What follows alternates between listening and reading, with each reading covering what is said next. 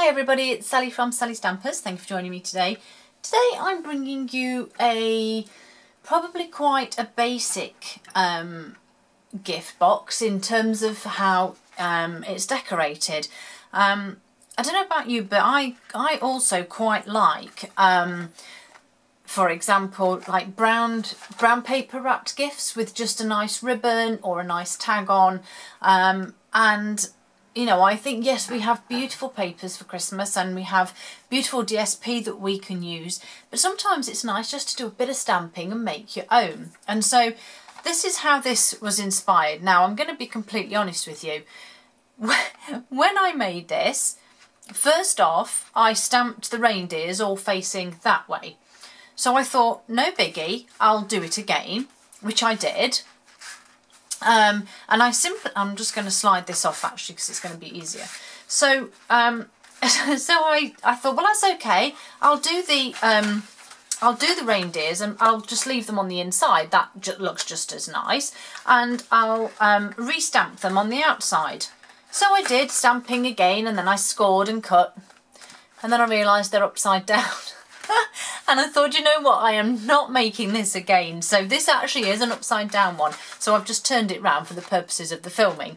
Um, but yes, yeah, so as you can see, this is actually just simply called my movie popcorn. So it's just a little pack of microwavable popcorn um, that you know, if you saw my tutorial on Saturday, you will know that it was for a DVD or stamp case uh, gift box. So if you are treating someone to a DVD, maybe you can treat them some popcorn too. Um, I think these are maybe about 99p, something like that. They might, or they might, they're certainly no more than about £1.50 maximum, I'm sure. Um, and I just think that, that, I mean, who doesn't love movie and popcorn? Okay, granted, I think it's possibly my daughter. It's either my daughter or my son that doesn't like popcorn. I can never remember. I always have to ask them. One doesn't like popcorn, so one always has sweets. But either way, I think movie and popcorn go together. So I thought this would be perfect. And it is just simply a little close over box. And then when it's not upside down, let's hope that I don't do this one upside down. And then I've just simply tied some of our lovely braided linen thread over the top. I've used some metallic thread just there, just as, oh, that's now come off. Um, it was tied around that um, that I think just a little tag. I just think why be overwhelming with it? I think that's really cute. So I'm going to show you. I just used the watercolour pencils just to colour in his nose there. Um, this one's Crumb Cake and Crumb Cake ink and I actually used Crumb Cake and Soft Suede just so he was a bit darker and stood out a bit more. And then I say a watercolour pencil on his nose. So I'll show you how to make it and let's hope we don't stamp this one the wrong way. So I'm going with real red this time. Why is my camera not focusing properly? Let's just give it a moment. Is it going to stop? Yes, okay. So you need a sheet of cardstock that is 10 and a quarter by eight and a half. And I forgot to get my real red ink out. And then I'm simply going to use my tone on tone again. So my real red, and I'm actually using Father Christmas because I am using the red one.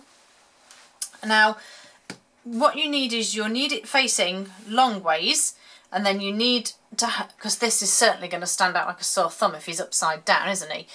So have it so that you've got the short side here, long side across the top and the bottom. And then we're simply just going to stamp random Santas, Father Christmas, whatever you want to call him, all over here. Now, if you want to add the bobble to the top of his hat, obviously you can. Um, I'm not going to just because it will take me forever to do all of these with just his hat. Let's just add a little bit there. So just give that a little clean. Get rid of that for a moment. And then you need to bring in your scoreboard.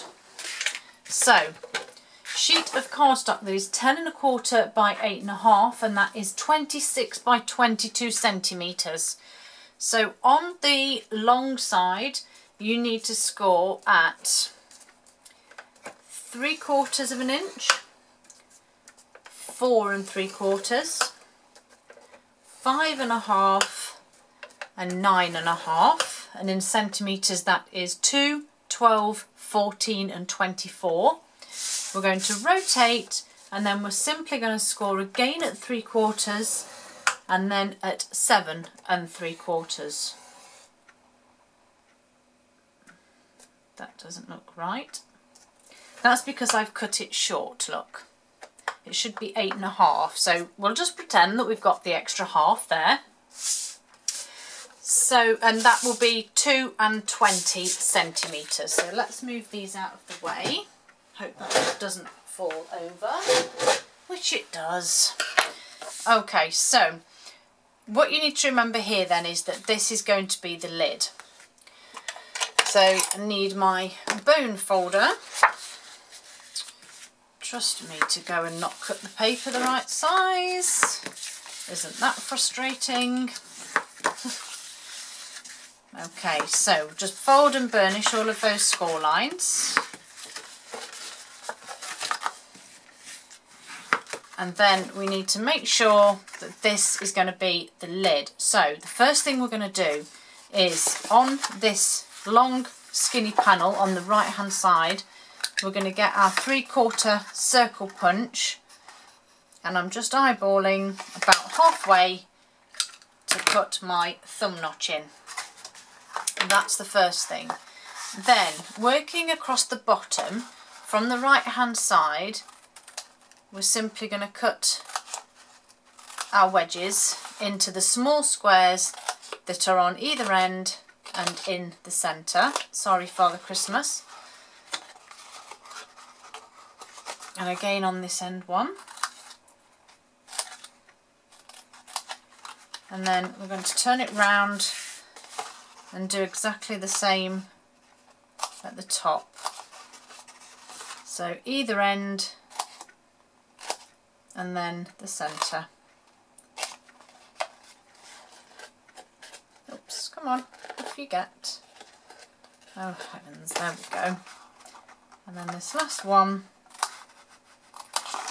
there we go. So that's that bit done. And so now we want to glue our base up. So back in with my wet glue. And I'm literally going to put it just on these four because these four are going to be my base. So grab some of my beautiful clips. And then just as we do with all of them I'm just simply going to put them into the position glue them and then add a clip. Once you've done the first one, it's easier to put the rest of them together, she says. Come on, naughty, naughty. Thank you. Let's just fold that out so you can see. It's so dark and dreary and miserable today. Oh, this isn't going to work too well, is it? Because I cut this one short. Never mind. We can still do it. One there. Yeah, it's really grey and miserable today. So it makes my craft room quite dark and dull. So that's the base made up. We've got our Santa's the right way, so everything's going well. So now I'm just going to grab my last two clips and I'm just going to put these down onto what will be the lid. So again, just putting the glue on getting those lined up and then putting the clip on.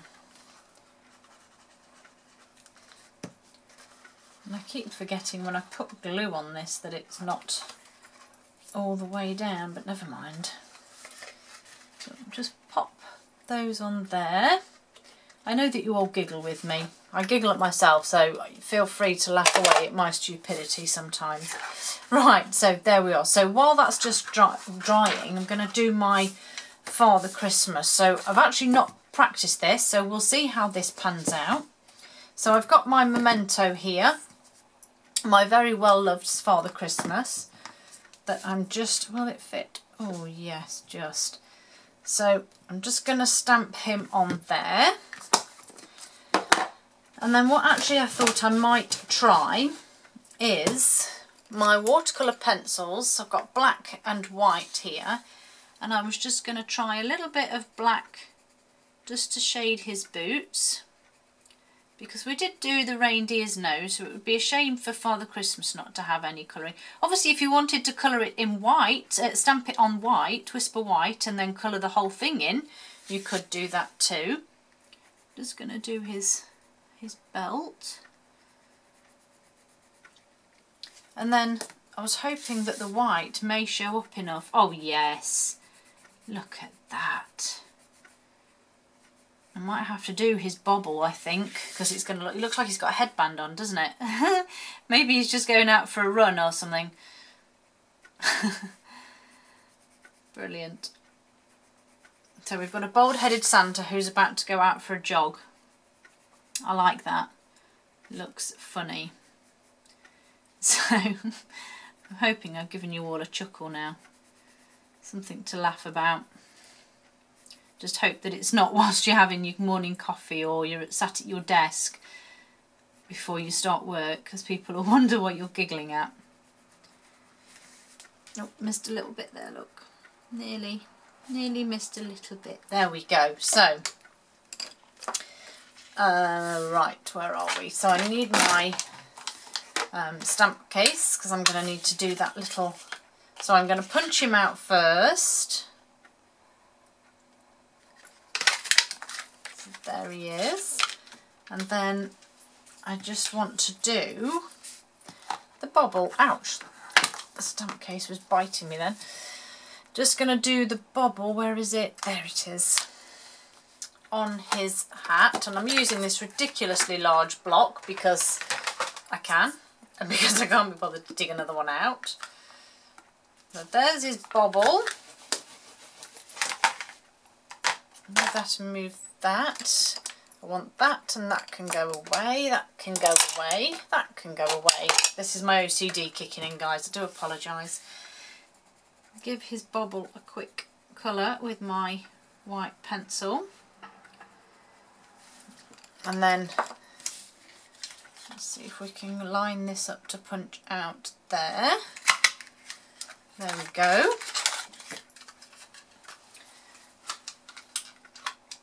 That away, rid of that. So, um, I'm going to use my handheld punch here. Sorry, Father Christmas, I am going to punch a hole in your head. And then we want a glue dot. You notice I went quite far down so that I can stick his bobble on.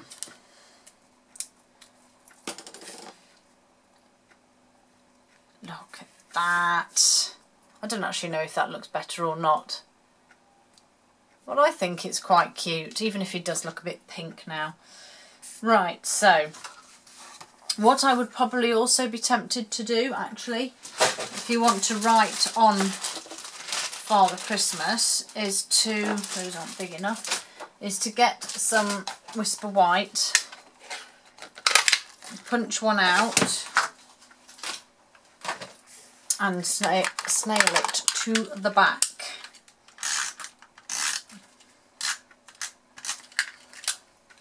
And then that way you will be able to write on it. And then you just need to re-punch that hole so that it's through the white as well. And then let's take all of the clips off.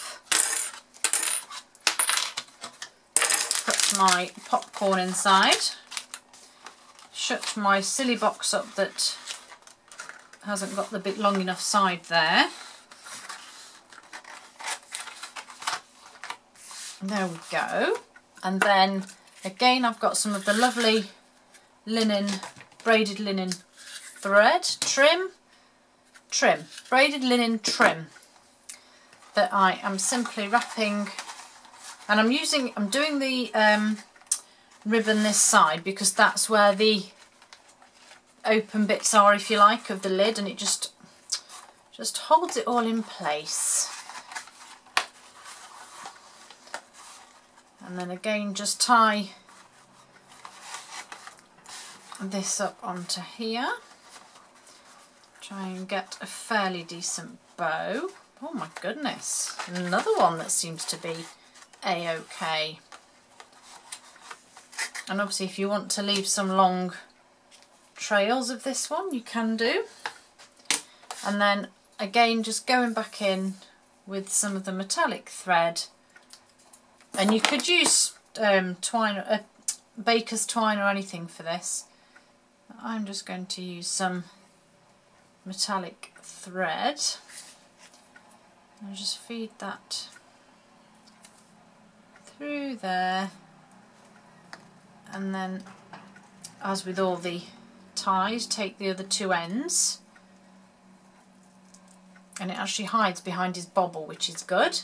And then I just simply for the previous one I just tied it around this knot. It might be worthwhile doing a double knot because like I said mine came undone